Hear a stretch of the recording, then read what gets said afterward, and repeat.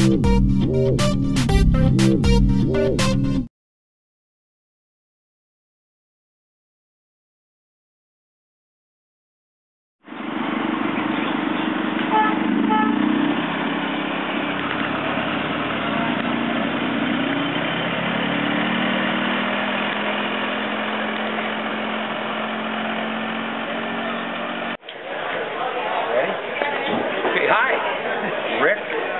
Marine, Roger from Milk and Honey. We are very, very happy to be at the Winnebago Rally this year. But really what we were excited about, the weather was much nicer today, not nearly as warm as the last couple of days. So I'd like to thank you guys. We're a wonderful, responsive group today. And uh, we'll be back in about an hour and a half for another show here. So uh, right now, let Marie tell all that crazy Oh, information. yeah. Well, we're going to change up the tune in case everybody, few people were here on the first show. So at 3 o'clock, come on back. Got a lot more. Right, Rod? Right, we're from Cedar Falls, Iowa. We're an Iowa-based band. We've Been been together. together since '69, Just a couple of 79. years.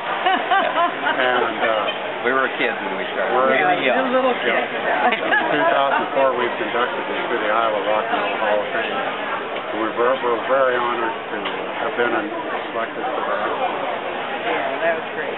Okay. Okay, lady. I, I, is this a, a, a movie camera? I think it is. Oh, my gosh, we're talking about the celebrities in the audience. Yeah, we're Tina and Lena. I'm Lena.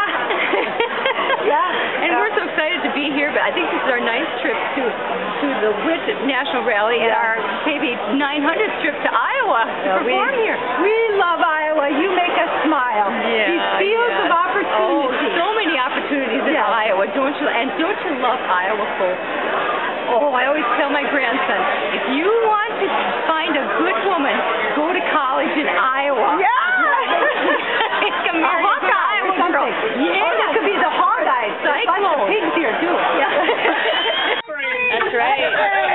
All the lines way too long. We got all of the lines way too long. I can't believe he didn't say something. He's standing right here and he's been watching all these Yeah, people. he's- yeah, he's been talking Jerry, about it. I am totally clueless. I didn't Uh, pay and that- attention to that. I am totally clueless. How did I and know? That is, I forgot all that is about it. what I, I did do. too. I didn't 99% zoom in. We time. up Scooby And you're gonna and put had me on the and internet had ice saying I'm totally Oh. clueless. Don't have, Yeah. don't have an idea about what is going on anywhere at any time. You're gonna make me look like the idiot I really am. Hillbilly. Well, Terry, do you know where you're from? Keep talking. Uh, yeah, I'm from Independence, Missouri. Yeah. Yeah.